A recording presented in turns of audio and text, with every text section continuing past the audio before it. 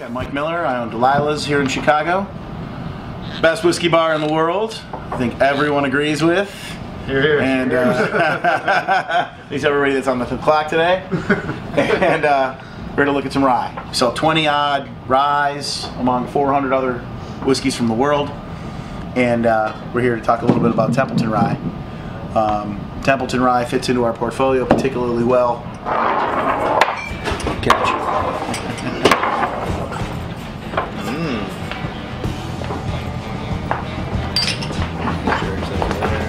Cheers. Cheers. Cheers.